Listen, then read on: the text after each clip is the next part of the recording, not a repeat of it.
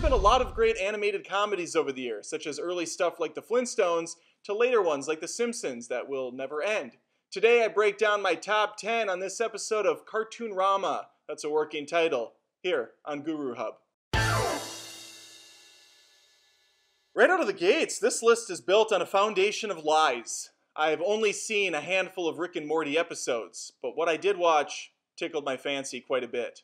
And based on viewer feedback that I respect more than my own children, like these fine folks, this at least had to make the top 10 spot. To say Aqua Teen Hunger Force is stupid would be accurate, but it would also undercut the often clever and completely insane humor on display. Master Shake, Meatwad, a floating box of fries with superpowers and a goatee make for the perfect meal. One that's not complete without a trashy neighbor named Carl to enjoy it. He's gonna melt your faces off!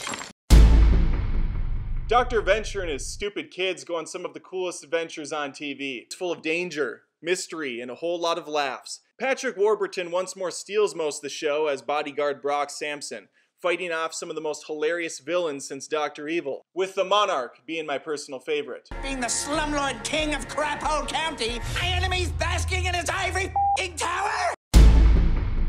Stop motion Mario Kart in the vein of Grand Theft Auto is not something I immediately knew I needed in my life until I watched Robot Chicken. This show doubles down on the Family Guy pop culture jokes with great success. And the Star Wars specials continue to be something worth revisiting every single year. I have no friends. uh, no friends. you are hot as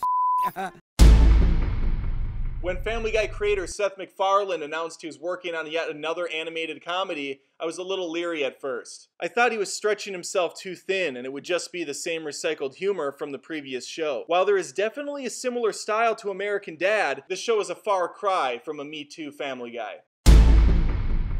Archer feels like the Venture Brothers to me in the best way possible. The strong illustrations, the insanely stupid scenarios, the incompetent employees, moronic villains, and an impressive writing staff that's not afraid to shake things up keep the comedy fresh and funny. The show has a full package of offerings, and I myself like a full package.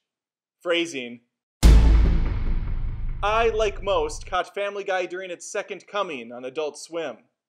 That was a sentence. The humor and funny use of animation instantly hooked me. I still catch the show on occasion and get a laugh or two from the often focusless episodes, but the first four or five seasons were just magic. Sometimes I look to a show for some good insight and clever politics, and other times I just want to see a grown man fight a chicken for five minutes.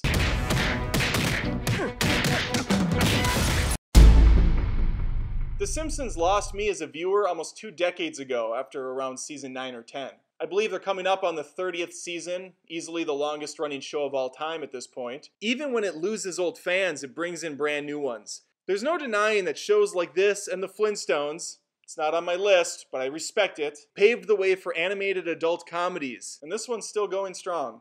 I put Futurama high up on my list for a multitude of reasons, which I will list now. It basically had two finales, showed on multiple networks, continued to put out consistently quality episodes, and wrapped up in a fantastic way for the fans. And it's another show created by Matt Groening. The guy knows how to build incredible concepts. It's also one of the rare cartoons that's not only funny, but also downright sad at times.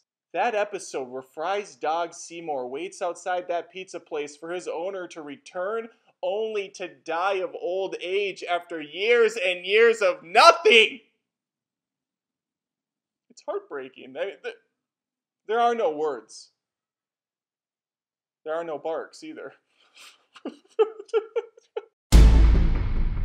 Matt Stone and Trey Parker are some of the funniest guys on the planet, and the proof is in the pudding.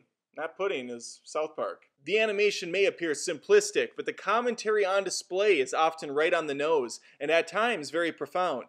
It's pretty amazing that a show featuring a talking towel, a magical shit, an obese kid who wants to wipe out all Jews, a man bear pig, satanic worshipping Christmas critters, Kanye West identifying as a gay fish, underpants gnomes, crab people, Rob Schneider as a carrot. Completely lost my train of thought. Oh, yes, it's a smart show, damn it. And if you haven't given it a shot, jump in. Start around season four or five. That's when things really let loose. Well, there you have it. The best animated comedies of all time. I refuse to believe anybody else has a better list than I do, but I'm willing to share a couple more thoughts on Twitter. Tony Roosevelt says South Park slash Aqua Teen Hunger Force. CA currently goes with Teen Titans Go. I think that's a controversial pick. People were upset when Teen Titans changed its style or something, I don't know. The Aussie Hornet says Archer, South Park, and Bojack. Thanks for watching Comedy Maniacs. It's a working title. It's based off Animaniacs. You get it, you're sharp. Thank you.